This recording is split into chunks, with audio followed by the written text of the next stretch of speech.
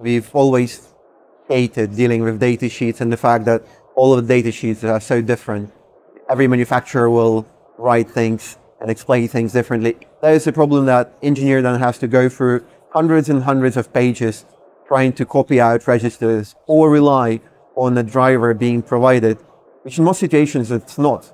And if you can find something open source, it's pretty bad quality. You can't really rely on it. We are building an industry standard on how you describe a semiconductor on a software level. We build models for different chip classes that incorporate all of the data points that you need to bring chip into your product on the software side. We then use AI to retrieve that information from actual chip datasheets into our model, meaning that suddenly we have stabilized machine readable representation of a component uh, that can be used for code generation, testing, documentation generation, the whole journey of bringing up low level electronics becoming a lot more streamlined. Right now we support bare metal, CMSIS, Zephyr. We're expanding that scope. And also we are able to bring up a component on a dev board of your choice within a few clicks. So there are over 600 dev boards supported by the system when you upload a datasheet into the system, we pull in a data representation, so let's say an empty structure of all of the data points you need for software integration. We then retrieve information we can find using AI into that model. That's where AI ends within our system. We don't use AI to generate code. We only do use it for data retrieval. We do a lot of pre and post processing of data, but also we provide you with tooling to navigate errors if they occur in the system, within the platform, where you can track if the error occurred or warnings that might have been flagged up where a system might have been incorrect. But the important part is you are dealing with very structured visual representation of a chip that you can quickly cross-check with datasheet because everything is backlinked and you have, can have a side-by-side view. The way that the system works is you upload a datasheet into it. So you just click upload datasheet, select the datasheet you want to process. So here on my table, I have this ADXL345 connected to Renesas board. So I just find it here, select the PDF and upload it. What we do is the back is exactly converting that PDF into our digital twin of a component, taking the data from the PDF into our model. So if the component's been processed by the system previously, we'll just pull it from an existing database. If it's a component that we are seeing for the first time, it might take anywhere between 20 to 40 minutes but you'll get an email notification when it's done. So here we have the ADXL now. I'll open the PDF that we uploaded and also the system configuration. What we transformed it into is that digital twin configuration. You have everything from the device name, vendor, class, interfaces it supports. It gives you the addresses it can be connected to on I2C bus, gives you possible frequencies that will support the register address size, it gives you all the register mapping extracted for you as well. So for every register, you have name, address, size. But if you open it up, you also have full info and access, bit allocations on every bit. You can click on it, see associated values and descriptions. And all of it is editable as well. So if I want to just drag this and create an additional reserved offset, I'm able to do that. So you as a developer hold full control and if you want to change anything, let's say I'll change it to 16, you can do that. But as discussed about hallucinations and error and warning tracking, it will tell you that there is a warning. And if you click on it, it will tell you register size looks inconsistent, please check. The way you can check it is you can click on PDF, turn on the backlink mode, and just see where in datasheet that information is contained and cross-check that. For this example, the first thing you want to do is you want to bring it up. You want to see is it actually working, that component, or do I need to look for other options? You can go to setup and put together an initialization sequence. We give you a narrative.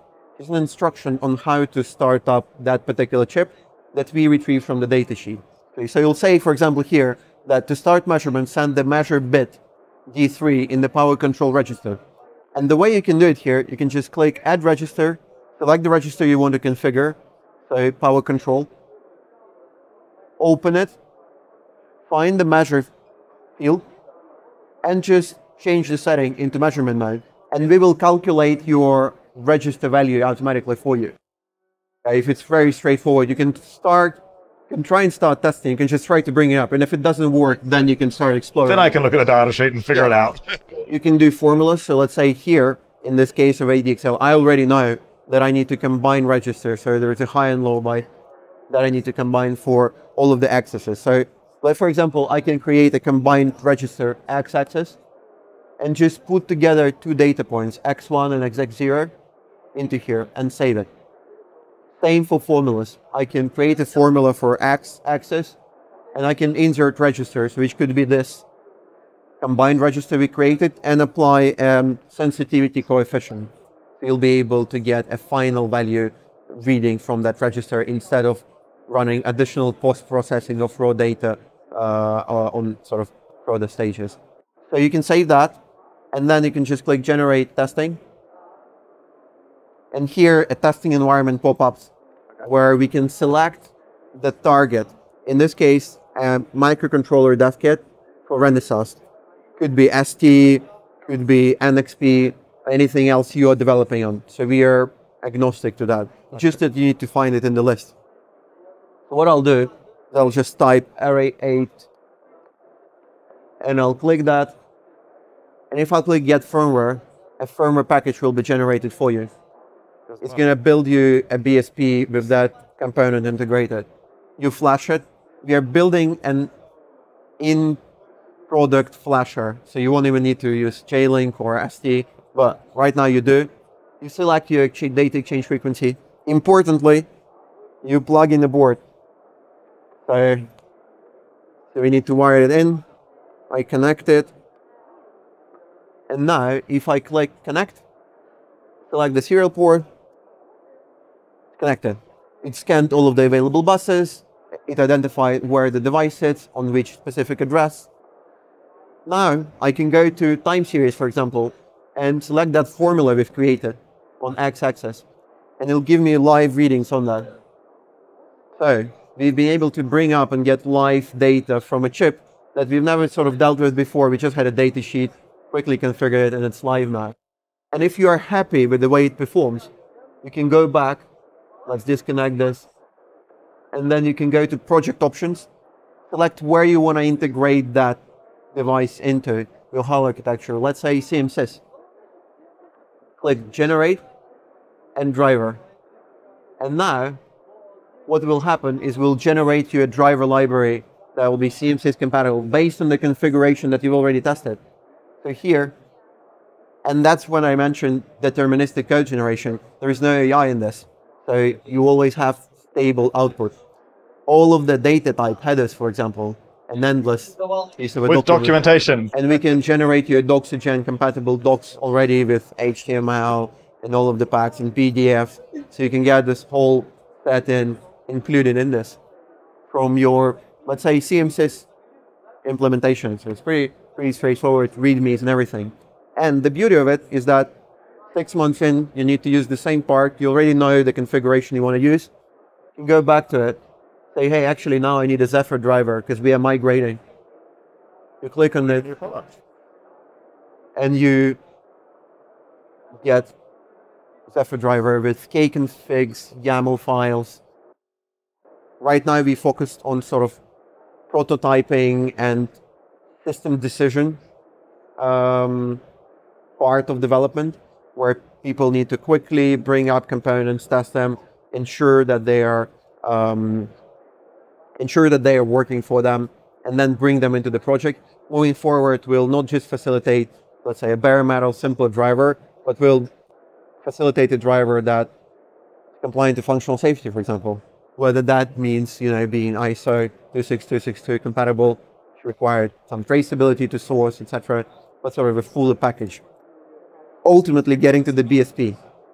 My goal is to truly enable software-defined embedded development, meaning that the application is the king. Everything that happens on the underlying hardware interaction should be resolved with tooling like ours, our tooling, uh, ideally.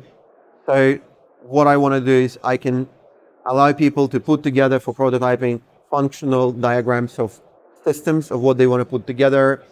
Uh, we will generate them BSP so they can test it on their racks and then connect to their circuit board design tooling like say Altium, so that we can pull out the final designs, all of the pinouts, how things connected, and generate a full-on BSP for the HAL architecture of their choice. And the beauty of it is that if you're an electronics engineer who is trying to do functional testing, you don't need to worry about code, which you might not like that much. No. You don't need to rely on I don't need to know key. the implementation. I just need to know that the, the board is functional. Yeah. And we've spent on previous projects like weeks just verifying that a board does what it's meant to do, but we're not the ones implementing any of the code. We just need to tell the embedded software guys that, you know, this board functions. You can use Yeah. it for development. And an interesting thing that we've figured out is that instead of sending an Excel spreadsheet of, I don't know, bus configurations or registers or anything else on that side, you can effectively just send them this config and they will generate the driver they need though. You as an electronics engineer don't need to deal with any code whatsoever. You just do your part of the workflow and you pass on the source of truth digital twin onto the next team.